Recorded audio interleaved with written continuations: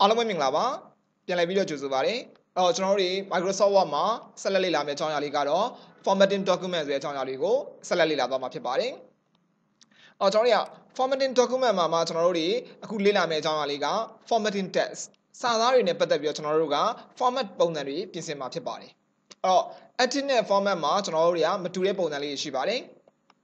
edit ဆိုတာကတော့ကျွန်တော်ကရှိသမျှကျွန်တော်ကအကြောင်းအရာ object တစ်ခုကိုလုံးဝ changes လုပ်လိုက်တာပေါ့ ဥပမာအပြင် delete လုပ်လိုက်တယ် replace လုပ်လိုက်တယ်ပေါ့ format ဆိုတဲ့သဘောတရားအဲ့လိုမျိုးတော့မဟုတ်ပါဘူးသူကရှိပြီးသားအကြောင်းအရာပေါ်မှာပဲကျွန်တော်ကနောက်ထပ်အရှောင်းတွေ style တွေအဲ့လိုမျိုးပြင်ဆင်တာဖြစ်ပါတယ်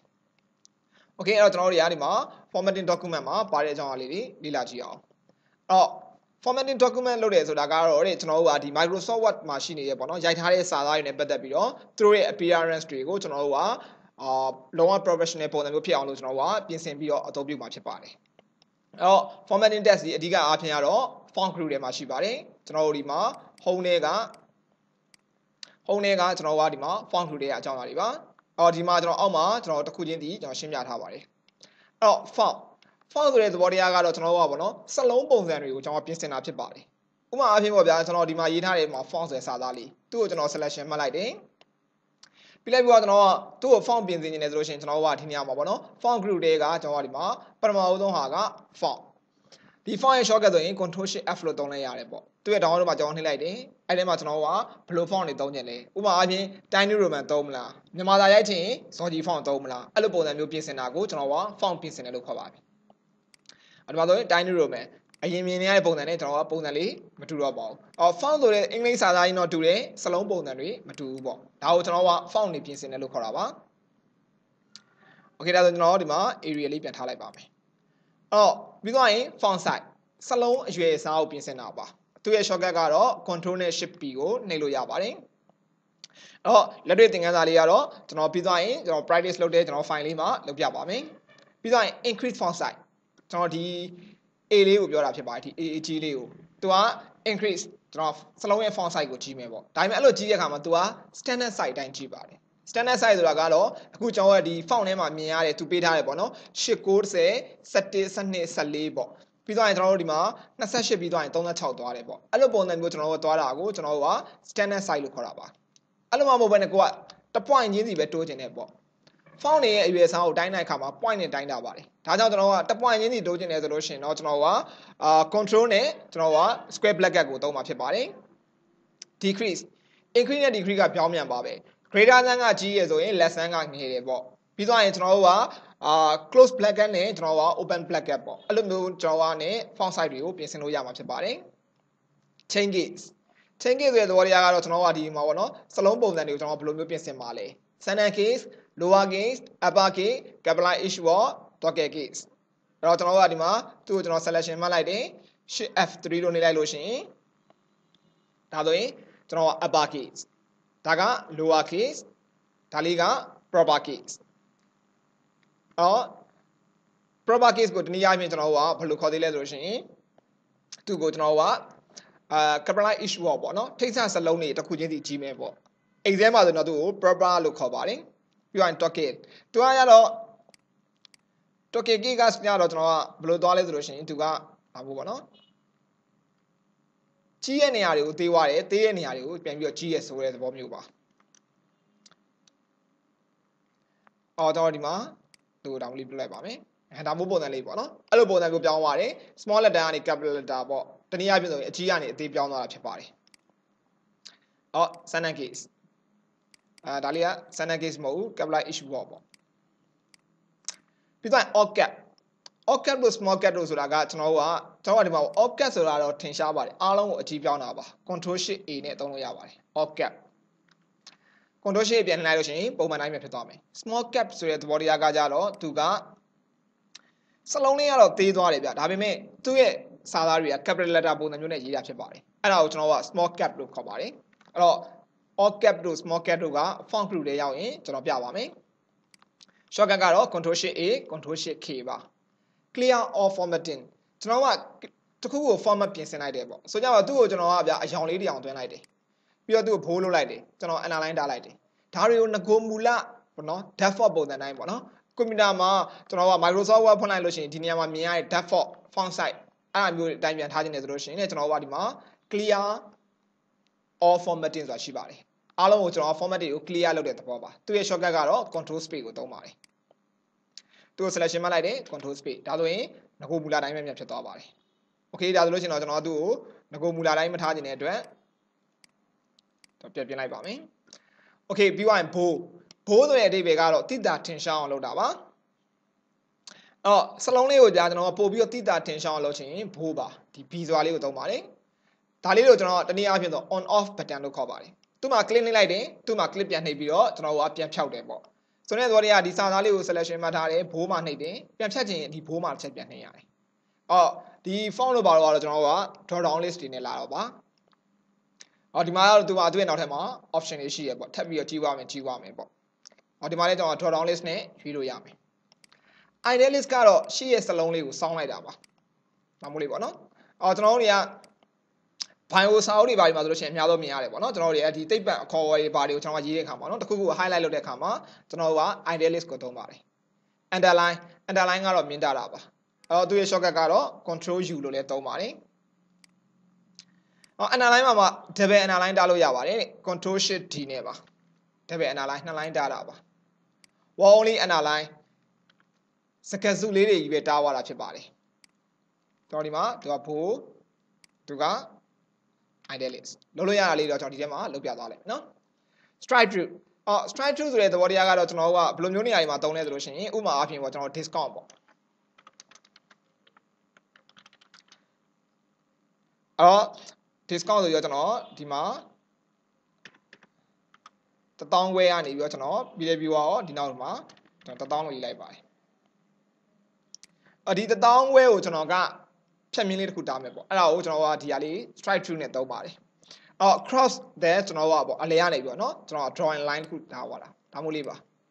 အော်ဒီနေရာမှာမြင်ရလဲဆိုရှင်အင်္ဂလိပ်စာပေါ့နော်အော် common mistake တို့ဘာလို့အဲ့မှာကျွန်တော်ကဘယ်လိုမျိုး usage တွေကိုမသုံးအောင်ဘယ်လိုမျိုး usage တွေကိုသုံးရတယ်ပေါ့နော်အဲ့လိုမျိုးနေရာတွေမှာကျွန်တော်က strike through ကိုသုံးပါတယ် super script နဲ့ sub script script ဆိုတာကတော့စာရေးသားပါ super sub script sub ဆိုတဲ့သဘောတရားကတော့အနှုတ်ကိုပြောချင်တာဖြစ်ပါတယ် super ကတော့တိုးတဲ့သဘောမျိုးပါအဲ့ တော့ကျွန်တော်က super script sub script ကိုတဲ့ဘယ်နေရာတွေမှာမြင်ရလဲဆိုလို့ရှိရင် example အနေနဲ့ကျွန်တော်ပြောပြပါမယ် sub script okay h2o ပေါ့ပြီးသွားရင်ကျွန်တော်ကဒါမို့လေးပေါ့နော် first second that ပေါ့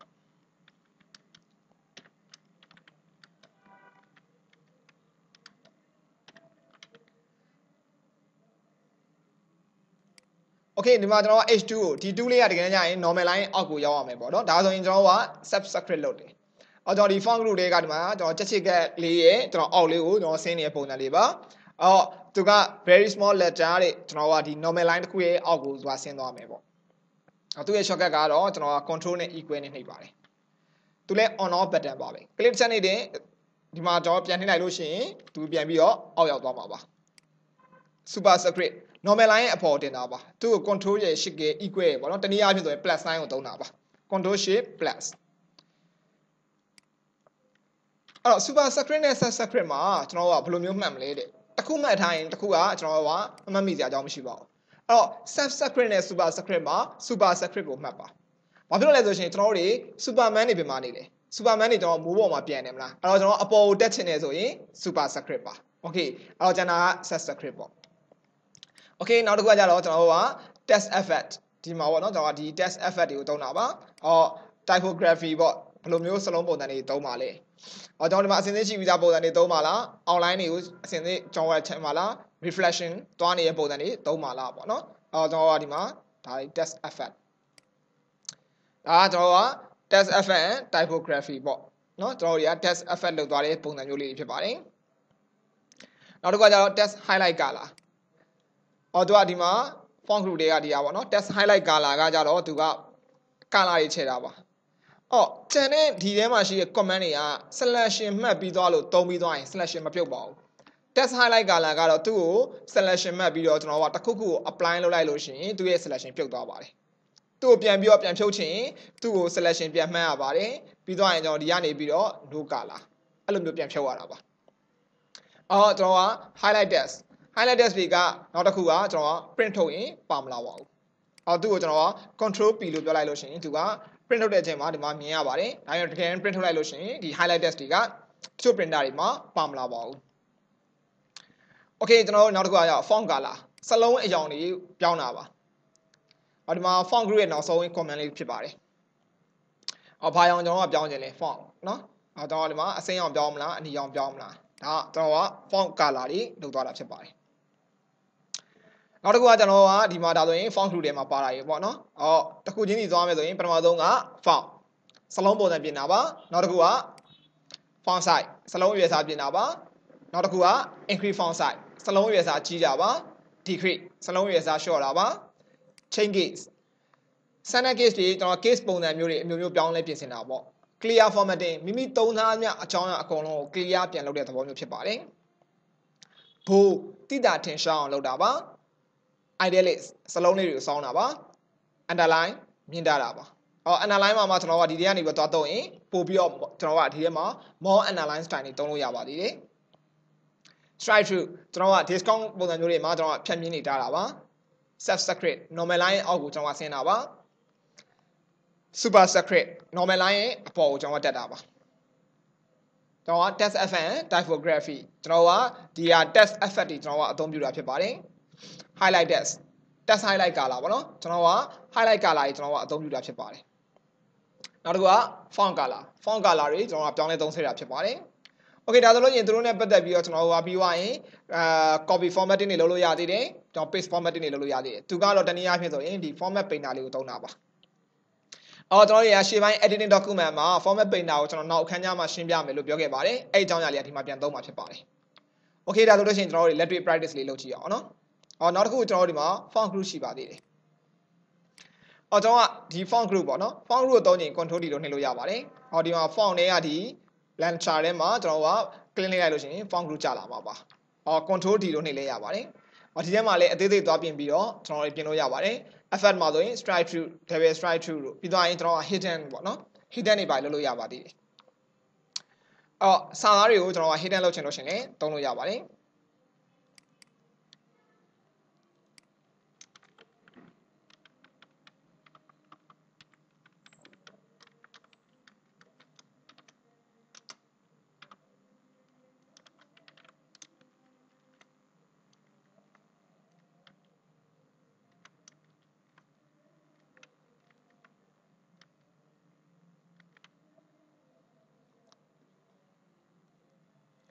အော် hidden ဆိုလို့ရှိရင်ကျွန်တော် control shift h နဲ့လို့ရပါတယ်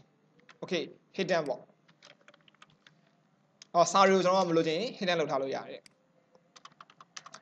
okay ဒါဆိုကျွန်တော်တို့လက်တွေ့လေးကျွန်တော်တို့စမ်းကြည့်အောင်နော်အဲ့တော့ကျွန်တော်ဒီမှာစာသားလေးတစ်ခုကိုကျွန်တော်ဖွင့်ပြထားပါတယ်အဲ့ဒီမှာကျွန်တော်ကစာသားတွေနဲ့ပတ်သက်ပြီးပြင်ဆင်မယ်ပေါ့ဒါကတော့ကျွန်တော်က default အဖြစ်ကျွန်တော်က Microsoft Word ရဲ့ new document တစ်ခုခေါ်လိုက်ရင်သူက Calibri body ဆိုပြီးတော့ iPhone နဲ့ကြာလာပါတယ် font size က11ပါ အဲ့တော့ကျွန်တော်ကအဲ့ဒါကိုကျွန်တော်ကဒီမှာပြင်ဆင်မယ်ပေါ့ကျွန်တော်ဒီမှာစာတွေရိုက်ထားတယ်ရိုက်ထားတဲ့စာသားတွေကိုပြင်ဆင်မယ်ဒါဆိုရင်ကျွန်တော်ကသူတို့ကို font ပြင်ဆင်တင်တယ်အားလုံးကျွန်တော် selection မှတ်လိုက်ပါတယ်အားလုံးရဲ့ select all ပေါ့နော် select all လုပ်ချင်ကျွန်တော်က select all ဆိုရင်ကျွန်တော်က control A လို့သုံးပါတယ်အဲ့တော့ control A လို့ပြောလိုက်လို့ရှိရင်သူက select all ဖြစ်သွားမှာပါပြီးတော့ကျွန်တော်ဒီကနေပြီးတော့ font ပြောင်းမယ်ပေါ့ဥပမာ tiny roman ဒါဆိုရင်ကျွန်တော်ကပုံလေးစလုံးပုံစံမျိုးတွေပေါ့နော် tiny roman အော်ကျွန်တော်ကတော့သုံးရင်ကျွန်တော်နည်းလေးပုံစံလေးက area သုံးတာများပါတယ်ဒါ area ပေါ့အော် area ကသူက tiny roman နဲ့ font size ချင်းတူရင်တော့မှသူကစလုံး size နည်းနည်းကြီးရယ်အော်ကျွန်တော်ကဒီမှာဒီစာသားကို selection မှတ်လိုက်တယ်ဒီထဲကနေ tiny roman သူကစလုံးက tiny roman ကကျွန်တော်ကဒီမှာ11ပေါ့နော်သူ့ရဲ့ size လေးကကျွန်တော်ကသူ့ထက်နည်းနည်းလေးကိုကျွန်တော်ကသေးတယ်ပေါ့နော်โอเคကျွန်တော်အကယ်၍ကျွန်တော်ကစောဂျီနဲ့ရိုက်ချင်တယ်ပေါ့မြန်မာလိုရိုက်ချင်တယ်ဆိုရင်ကျွန်တော်ကဒီနေရာမှာစောဂျီ font ပြောင်းရပါတယ်စောဂျီ font ဒီအောက်ဆုံးမှာရှိတာများပါတယ်အော်စောဂျီပေါ့ပြီးတော့ရင် control နဲ့ shift နဲ့နှိပ်လိုက်တယ်မြန်မာသာပေါ့နော်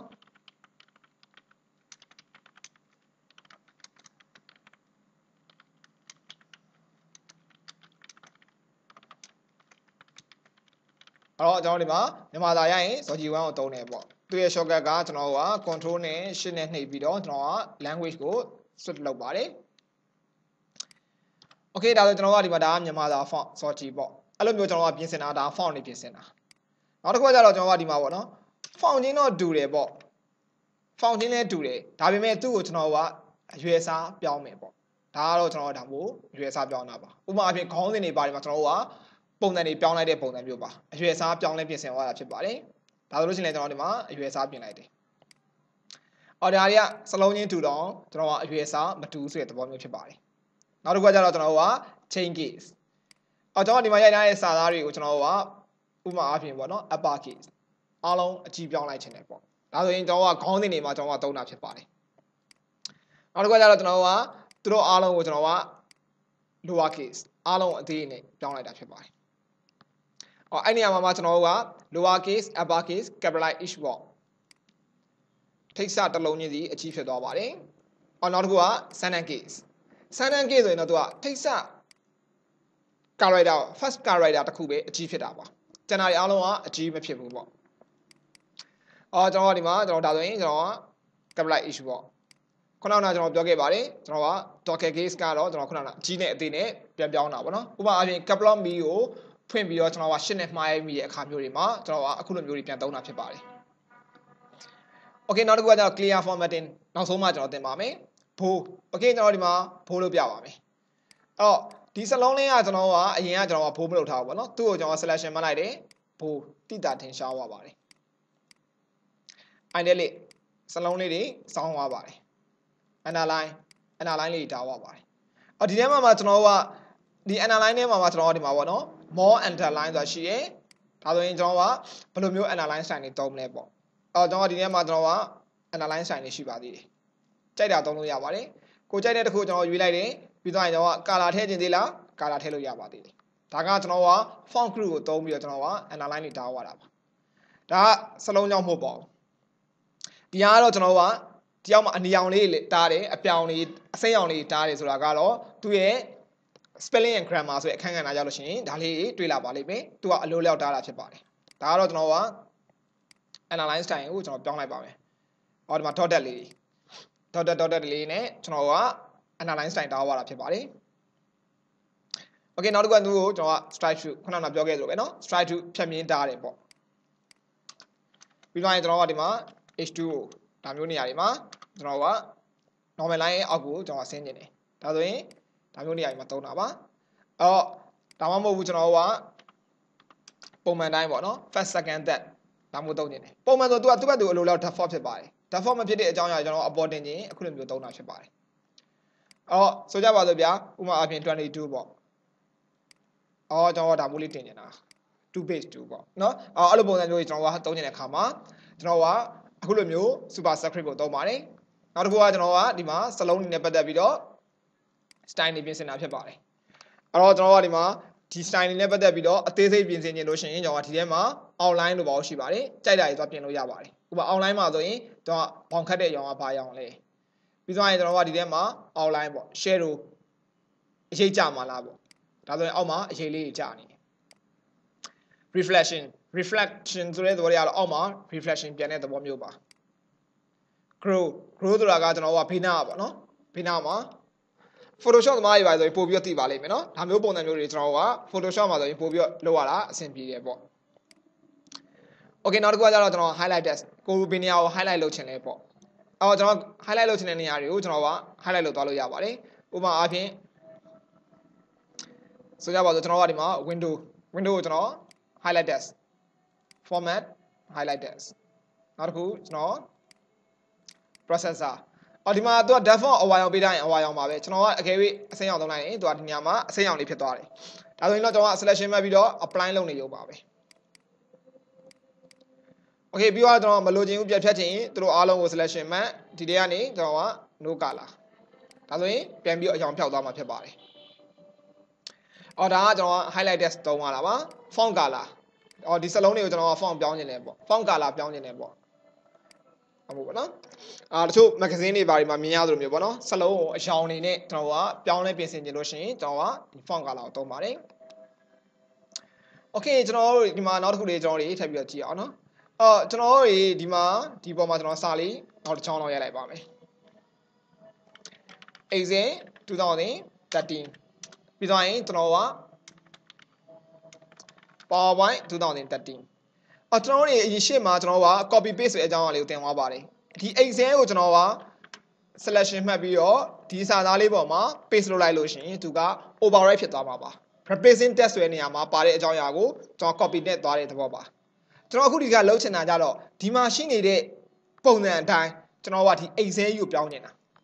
အော်ကျွန်တော်ဒီမှာဘာတွေလုပ်ခဲ့လဲကျွန်တော်လည်းမမှတ်မိတော့ဘူးကျွန်တော် reflection တွေလည်းလုပ်ခဲ့တယ်ကျွန်တော်အယောင်တွေလည်းပြောင်းခဲ့တယ် grow တွေလည်းပြောင်းခဲ့တယ်မမှတ်မိတော့ဘူးဒီ style ကိုကျွန်တော်လုံးဝမမှတ်မိတော့ဘူး ဒါဆိုရင်ကျွန်တော်ကဒီ style ကိုပြန်ပြီး apply လုပ်ချင်ရင်တဲ့ format painter နဲ့သုံးပါတယ်အဲ့တော့ format painter မှာကျွန်တော်က click ဆက်လိုက်တယ်ပြီးတော့ရင်ဒီ excel ဆိုတဲ့စာသားလေးကို selection မှတ်လိုက်တယ်သူကစာသားကို override ဖြစ်သွားတာမဟုတ်ပါဘူး formatting ပဲသူက apply လုပ်သွားတာဖြစ်ပါတယ်ဒါကိုကျွန်တော်ကတနည်းအားဖြင့် shortcut နဲ့လည်းသုံးလို့ရပါတယ်အဲ့တော့ format painter ဒီရဲ့သူ့ကိုအကျဉ်းချင်းသုံးရင် double click နှိပ်ခဲ့ရပါတယ်ဒီအောက်မှာရေးထားပါတယ်အဲ့တော့ to apply the formatting in multiply မဟုတ်အောင်ဆုံးလေးမှာ FYI ဆိုပြီးရေးထားပါတယ် double click the format painter တဲ့အကြောင်းကဒီမှာသူ့ကို selection မှတ်လိုက်တယ် format painter ဒါဆိုရင်သူကတစ်ချိန်နဲ့ပြီးသွားပြီနောက်တစ်ခုသွားမှတ်ရင်ဘာမှမဖြစ်တော့ဘူးဒါဆိုရင်ကျွန်တော်ကသူ့ကို selection မှတ်လိုက်တယ် format painter တစ်ချက်တစ်ချက်နဲ့ပြီးသွားမှာပါ okay တော့ excel ကိုမှတ်လိုက်တယ် format painter ပေါ်မှာ double click နှိပ်လိုက်တယ်တော့ဒီမှာဟာပုံစံလေးပြန်ပြောင်းလိုက်တာဖြစ်ပါတယ် အတော့ဒီချိန်မှာဘယ်သူ့ကိုပဲ selection သွားမှတ်မှတ်ပေါ့နော်အဲ့ပုံစံမျိုးဖြစ်သွားမှာပါโอเคဒါဆိုလို့ရှိရင်ကျွန်တော်တို့ကဒီမှာရှိတဲ့ပုံစံကိုကျွန်တော်ကရက်ချင်ပြီပေါ့ format painter ကိုမသုံးရင်ဒီ format painter ပေါ်မှာ click တစ်ချက်ပြန်နှိပ်ပါသူ့မှာလက်ရှိမှာဒီမှာသူသုံးထားတဲ့ apply လုပ်ထားတဲ့အတွက်အရောင်လေးဖြစ်နေပါတယ်ဒါမှမဟုတ်ရင်ကျွန်တော် keyboard ကနေ escape key နှိပ်လို့ရပါတယ်အဲ့တော့မှသာရင်သူရဲ့ format painter ရက်သွားမှာဖြစ်ပါတယ်โอเคဒါဆိုစမ်းကြည့်အောင်သူ selection မှတ်လိုက်တယ် နောက်တစ်နည်းကကျွန်တော် format painter ပေါ်မှာ double click နှိပ်တယ်သူ့ကို apply လိုက်လုပ်တယ်โอเคကျွန်တော်ကရက်ချင်ပြီဆိုရင် escape နှိပ်တယ်ပေါ့ဟုတ်ပြီကျွန်တော် normal တိုင်းပုံစံလေးပြန်သွားထားပါမယ်အဒီ style လေးပေါ့နော်ဒီပေါ်လေးမှာ click နှိပ်ထားလဲရပါတယ် click နှိပ်ထားပြီးတော့ control shift c ဆိုလို့ရှိရင်သူကအဲ့ format ကို copy ကူးပါတယ်ပြီးတော့သူ့ကို selection မှတ်တယ် control shift v အော်သူတို့ကို selection မှတ်လိုက်တယ် control shift v အော် သူတို့ကို selection မှတ်လိုက်တယ် control shift v အော်ဒါကကျွန်တော်က format painter လောက်သွားတာပါအော်သူ့ကို selection မှတ်လိုက်တယ် control shift c ဒါဆိုရင် copy ကူးတယ်သူ့ကို selection မှတ်တယ် control shift v အဲ့တော့ကျွန်တော်ဒါကကျွန်တော်က format တွေကိုကျွန်တော်က copy ကူးရတာဖြစ်ပါတယ်အော်သူ့ကိုကျွန်တော်ကဒီမှာဘိုးလုပ်တယ်ကျွန်တော်ကဟိုမှာ font တွေပြောင်းတယ်စလုံး site တွေကြီးတယ် underline တွေတားတယ်ဟုတ်ပြီနော်အော်သူတို့ကိုလည်းကျွန်တော်ကဒီမှာ strike through တွေလုပ်တယ် font color တွေပြင်တယ် အကြောင်းဒီမှာရှိနေတဲ့အကြောင်းအရာတွေအားလုံးကိုမူလပုံစံတိုင်းပြန်ထားခြင်းတယ်ဒါဆိုလို့ရှိရင်လည်းကျွန်တော်တို့ကဒီဟာတွေအားလုံးကိုတဲ့ကျွန်တော်က selection မှတ်ပါပြီးသွားရင်ဒီကနေ clear or formatting ဒါဆိုရင်တော့သူကငကုံမူလဆိုင်တိုင်းပြန်ဖြစ်သွားမှာပါ Okay အော် clear or formatting ကိုကျွန်တော်က shortcut အနေနဲ့သုံးလို့ရပါတယ်သူတို့အားလုံးကို selection မှတ်လိုက်တယ် control space ပါဒါဆိုလို့ရှိရင်လည်းသုံးလို့ရပါတယ်အော် control space ကတော့ပို့ပြီးတော့မြန်ဆန်တဲ့နည်းလမ်းပေါ့နော် ပုံမှန်တိုင်းကျွန်တော်ပြန်ဖြစ်သွားတယ်သူ့ကို control space အဲဒါဒီမှာဒီနောက်ကစာသားတွေ calibri ဖြစ်သွားတယ်ဒီနေရာ calibri ဖြစ်သွားတယ်မြန်မာသားကတော့ကျွန်တော်က area ကျွန်တော်ကစောကြီးကိုတုံးထားတဲ့အတွက်ဒီနေရာမှာမြန်မာလိုမြင်နေရတာဖြစ်ပါတယ်။အော်သူတို့အားလုံးအယောင်တွေခြေထားတယ်ဒီအောက်မှာ style တွေပြင်ထားတယ် control space မူလတိုင်းပြန်ဖြစ်သွားပါတယ်။အော်အားလုံးကိုကျွန်တော် selection မှတ်လိုက်တယ် control space ဒါဆိုရင်အားလုံးမူလတိုင်းပြန်ဖြစ်သွားမှာဖြစ်ပါတယ်။ Okay ဒါကတော့ကျွန်တော်က clear formatting လုပ်သွားတာဖြစ်ပါတယ်။ အဲ့တော့ကျွန်တော်က font group ထဲမှာကျွန်တော်က apply လုပ်သွားတယ် clear ပြန်လုပ်သွားတယ်ပေါ့။ဒါဆိုရင်ကျွန်တော်ကဒီမှာရှိတဲ့အကြောင်းအရာတွေနဲ့ပတ်သက်ပြီးတော့ကျွန်တော်တို့နောက်ထပ်ပြင်ဆင်စရာလေးတစ်ခုရှိပါတယ်။ဒါကတော့သူ့ကိုကျွန်တော် selection မှတ်လိုက်တယ် font group ကိုသုံးပါပါ control D ပါအော်ဒီစံသားလေးကိုတဲ့ကျွန်တော် hidden လုပ်ချင်တယ် hidden လုပ်လို့ရပါသေးတယ်အဲ့တော့ကျွန်တော်ဒီမှာ hidden okay ဒါဆိုဒီညလေးမှာကျွန်တော် hidden ဖြစ်သွားတယ်ပေါ့အော် hidden ဖြစ်သွားတဲ့စံသားလေးကိုပြန်လို့ချင်းဘယ်လိုလုပ်လဲတဲ့ အော် select all ပြန်ပေးရပါတယ်ပြီးတော့ font လေးကနေဒီ hidden ကိုအမှန်ကြီးပြန်ဖြုတ်ပါတယ် okay ဒါဆိုရင်အပေါ် excel လေးပြန်ပေါ်လာတယ်အော်ကျွန်တော်ဒါကြီးဖြုတ်ပြမယ်နော်အကြောင်းဒီမှာအနီအောင်ရှိတဲ့စာသားတွေအားလုံးကိုကျွန်တော် selection မှတ်လိုက်တယ် control D ပြီးပြီးတော့ကျွန်တော် hidden okay သူပြောက်သွားပြီတက်ဖော်ခြင်းနဲ့ control A လို့ပြောလိုက်ပါပြီးသွားရင် control D hidden ကိုအမှန်ကြီးဖြုတ်ပါ okay hidden ကိုအမှန်ကြီးဖြုတ်ဖို့နှစ်ချက်နှိပ်ရပါတယ် control D hidden ကိုနှိပ်တယ် okay ပြီးတော့ပြန်ဖြုတ်ခြင်းကျွန်တော်က control D လို့ပြန်နှိပ်လိုက်တာနဲ့ကျွန်တော်ကဒီညမှာမမြင်ရပါဘူး select all လုပ်ရပါတယ်ပြီးသွားရင် control T ဒီနေရာလေးမှာကျွန်တော်ရှိနေရလေးကိုတစ်ချက်နှိပ်လိုက်တယ်နောက်ထပ်အမှန်ကြီးလေးကိုထပ်ဖြုတ်တယ် okay ဒါကတော့ကျွန်တော်က hidden လောက်သွားတဲ့ပုံစံပါ okay control space နောက်တစ်ခုသူနဲ့ပတ်သက်ပြီးတော့ font ကိုပြင်ဆင်ရင် control shift f ဒီနေရာမှာ font ရွေးလို့ရပါတယ်နောက်ကျွန် တော်ဒီနေရာမှာ time new roman လို့ရွေးလိုက်တယ် enter သူ font ပြောင်းသွားတယ် okay ဒုတိယမြောက်ကျွန်တော်ကအစာသားလေးကို selection မှတ်လိုက်တယ် control shift p ဒါက font size ပါ size ဆိုတဲ့နေရာကိုတန်းရောက်သွားတာပါကျန်လာတာတော့ font group ပဲကြာလာတယ် size ဆိုတဲ့နေရာကိုတန်းရောက်ပါတယ်ကျွန်တော်20လို့ရိုက်လိုက်တယ် okay ဒါမှမဟုတ်ကျွန်တော်ကတန်းပြီးတော့ဖြစ်သွားတာပါသူ့ကို selection မှတ်တယ်ကျွန်တော်က control shift greater than g ရယ် control shift less than d ရယ်အော်အဲ့လိုမျိုးတေးသွားတဲ့အချိန်မှာကျွန်တော်ဒီမှာကြည့်အောင်နော်24ကျွန်တော်ဒီနေရာလေးကိုကြည့်တာပါ24 နော်26 28 36အော်ဒီမှာကျွန်တော်တို့28ပြီးသွားရင်36သွားပါတယ်အော်ဒါကိုကျွန်တော်က standard font size လို့ခေါ်တာဖြစ်ပါတယ်အကင်းကျွန်တော်က28ပြီးလို့29သွားခြင်းလို့ရှင်တော့ control နဲ့ square bracket နဲ့တောင်းသုံးပါတယ်ဒါတပွင့်ချင်းတွေကြည့်တာပါ okay ဒါကတော့ increase font size decrease font size တွေလောက်သွားတဲ့အကြောင်းအရာလေးဖြစ်ပါတယ်အော်ကျွန်တော်ကဒီမှာ shortcut တွေကတော့ဒီတွေကနေကျွန်တော်ပြန်ကြည့်ပေါ့နော် font ကိုဘယ်လိုမျိုးကျွန်တော်ခေါ်သုံးတယ် font size တွေဘယ်လိုခေါ်သုံးတယ်ဆိုတဲ့အကြောင်းပေါ့နော်အော်ဒါကတော့ကျွန်တော်တို့တွေက formatting document ဆိုတဲ့အကြောင်းအရာလေးကိုကျွန်တော်ရှင်းပြသွားတာဖြစ်ပါတယ်အဲ့တော့ကျွန်တော်တို့နောက်ထပ်ဗီဒီယို clip မှာကျွန်တော်တို့ paragraph နဲ့ပတ်သက်ပြီးတော့ဘယ်လိုမျိုးကျွန်တော်တို့ shortcut တွေသုံးမလဲဆိုတာကိုဆက်လက်ဆောင်ကြည့်အောင်အားလုံးပဲကျေးဇူးတင်ပါတယ်နောက်ထပ်ဗီဒီယို clip မှာပြန်လည်တွေ့ဆုံကြပါမယ်